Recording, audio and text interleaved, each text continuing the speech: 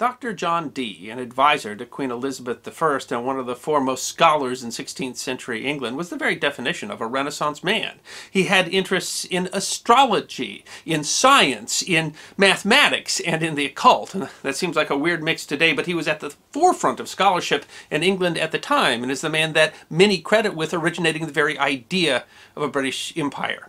Um, misunderstood and much maligned historical character, he was a collector of rare books who at one time held one of the largest libraries on earth. And although he died in poverty and obscurity, his ideas powerfully affected society, both then all the way through to today. And he represented an era when science and religion and mysticism were all intertwined. Dr. John Dee deserves to be remembered. We know that Dee was born at approximately 2 p.m. on July 13, 1527, because he created his own birth chart, which is still in existence and resides at the Bodleian Library in Oxford. Born to Roland Dee, a merchant, and Joanna Wild, the latitude on Dee's chart shows that he was born on the north side of London. Dee was a promising scholar as a young man, excelled at St. John's College, Cambridge, and was granted entry into Henry VIII's new Trinity College.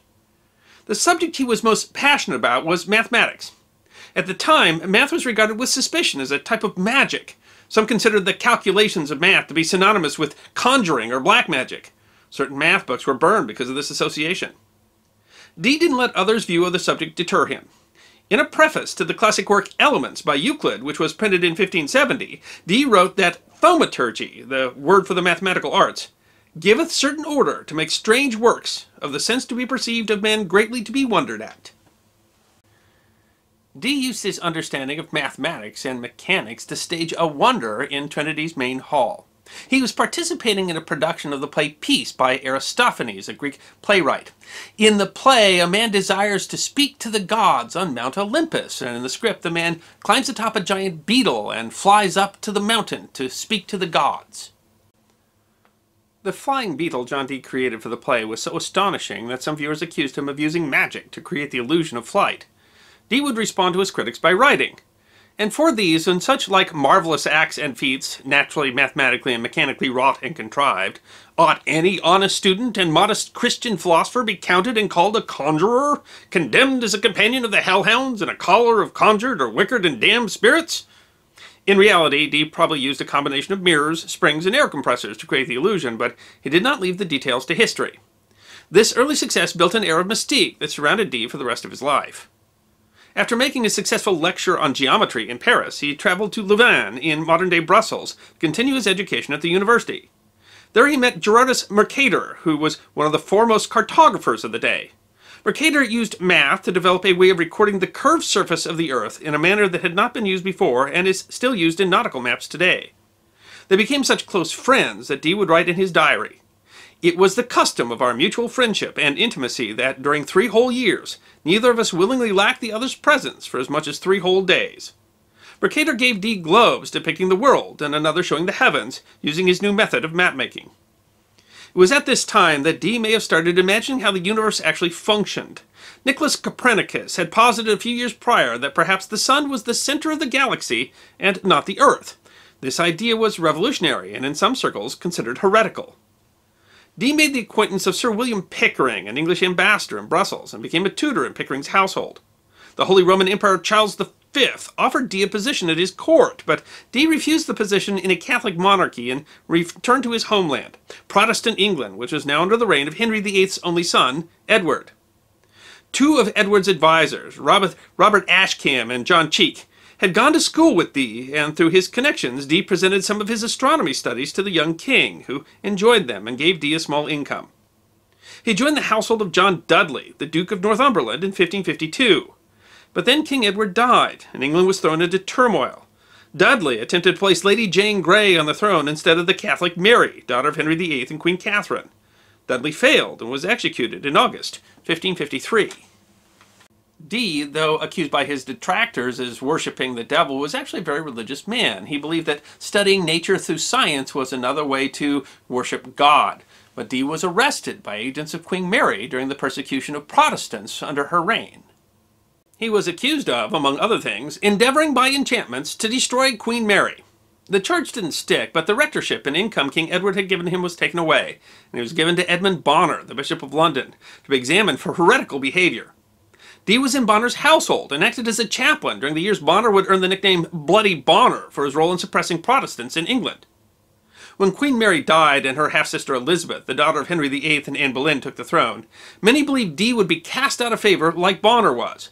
But Queen Elizabeth seemed to favor the philosopher and astrologer, even asking his advice for the most propitious day to hold her coronation. Some historians believe that Dee had been acting as a spy for Elizabeth during his time in Bonner's home, but there's no evidence to support that claim beyond the fact that he wasn't thrown into prison like Bonner was. Dee began his life's work, which was to find a universal language in nature, and studied the Kabbalah, a type of Hebrew mysticism. This universal language, Dee believed, was told to the biblical Adam by God in the fabled Garden of Eden before the fall from grace. Dee hypothesized if a scientist could find this universal language, giving the secret name of beasts, plants, and everything in creation, that it would unlock the secrets of the universe itself. To that end, Dee wrote one of his most famous works, the Monas Hieroglyphica, combining all astrological symbols into one.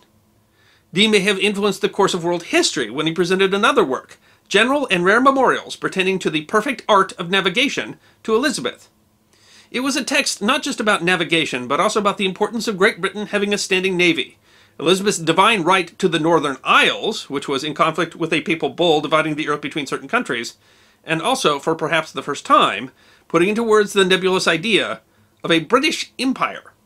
It was a curious book, both scholarly and mystical, featuring an allegorical artwork on the front, with Elizabeth on a ship being guarded over by an archangel and a woman representing opportunity. These ideas weren't adopted immediately, but over time, the Navy and the British Empire became important ideas in British foreign policy. Dee was one of the few commoners Elizabeth would visit, stopping by his home at Mortlake when Dee's mother and wife died to offer her condolences. She was fascinated by Dee's theories and also believed in mystical ideas like the power of the royal touch, which she believed was her ability to cure various illnesses simply by touching the afflicted person. Though she favored Dee, Queen Elizabeth would not provide the money he needed to continue his research. He enjoyed a modest income as the rector of Long Leadenham, but to supplement this, he cast horoscopes and attempted alchemical heals to pay for his additional expenses. One of his biggest expenses was his mammoth collection of books. With the upset of the monasteries and other centers of learning in England, many libraries had been liquidated and their contents were sold to private collectors outside of the country. Dee was obsessed with saving these rare and precious works from disappearing and built wings and additional rooms in his home to store them. Through his efforts, Dee accumulated one of the largest libraries in Europe, with books on almost any topic imaginable, from dreams to mythology and the weather. Dee was at his home at Mortlake when he began experimenting with scryers, or men who could see images in mirrors or crystals. There were many fortune tellers and scryers wandering throughout England at the time, practicing their trade for lodging, food, or whatever payment was available. The purpose of these sessions, which Dee called actions in his highly detailed diary he kept about them, was to find the secret universal language that had so long evaded him. Edward Kelly, though he introduced himself to Dee under a fake name Talbot, was Dee's most famous scrying partner. Kelly, over years and numerous sessions, said he saw any number of angels, demons, and other spirits sharing with Dee their advice, tables filled with numbers purportedly used for the purpose of casting horoscopes, and a completely new language which later occultists would call the Enochian alphabet. Kelly's past was questionable, and in Dee's diary Dee wrote, I confirmed Talbot was a cozener, which is another word for a fraud. But their relationship continued to be close, and Kelly had access to Dee's private papers because on the same page where Dee had written Kelly was a fraud, Kelly had written that this was a horrible and slanderous lie. Dee and Kelly would flee England together with their families because, according to a vision, Kelly believed he was soon to be arrested. They traveled to Europe with a Polish noble named Albert Lasky, but soon parted ways with Lasky because they didn't have the resources to keep them. Dee and his scryer went to Bohemia in modern-day Poland and through some connections met Emperor Rudolf II, a man who shared many of Dee's interests and was sometimes referred to as the Mad Alchemist. Rudolf received a message from Dee that Dee claimed to have received from angels during one of his actions with Kelly. The message encouraged Rudolf to be humble, and if he would worship God, he would be one of the strongest leaders in Europe. Rudolf was initially receptive to the message and showed Dee the many wonders he had collected in his palace, which included the roots of a mandrake plant, the remains of what Rudolf believed was a dragon, and a narwhal horn. But the Catholic ambassador to Rudolf's court thought Dee's message and spiritual experiments were heretical and advised the Pope of Dee's activities. The ambassador gave Emperor Rudolf evidence of what he claimed as proof of Dee's practicing prohibited arts, and as a result, Rudolf banished Dee and Kelly from his kingdom. The pair were then under the protection of Wilhelm Rosenberg, a Bohemian noble who was seeking an alchemical cure for his inability to produce an heir. Dee and Kelly stayed for years, performing their spiritual actions and receiving more information from Kelly's scrying, including instructions to share their wives. Eventually, Kelly became known for his so-called alchemical abilities, including transforming worthless materials into gold, and after being asked back to Emperor Rudolf's court, they parted ways. Dee returned to England and discovered that his library was in ruins. A large part of his magnificent collection was missing, and other valuable pieces of equipment had been smashed.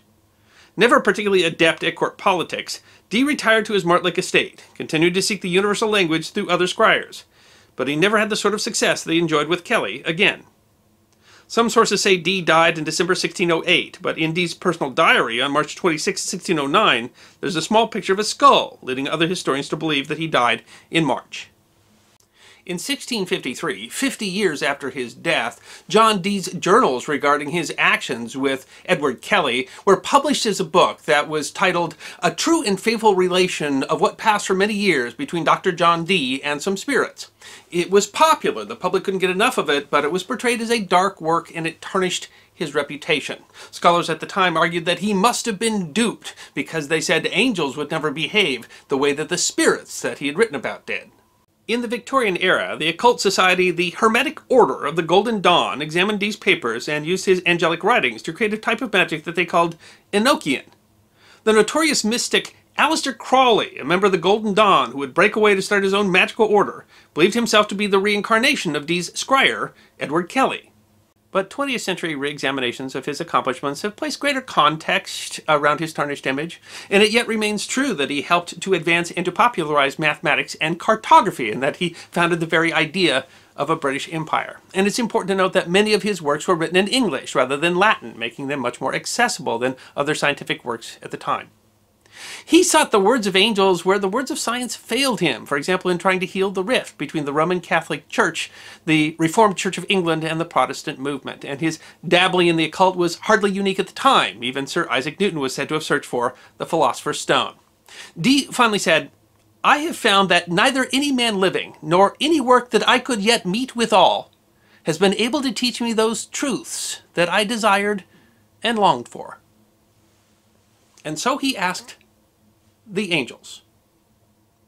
I hope you enjoyed this episode of The History Guy, short snippets of forgotten history between 10 and 15 minutes long. And if you did enjoy, please go ahead and click that thumbs up button.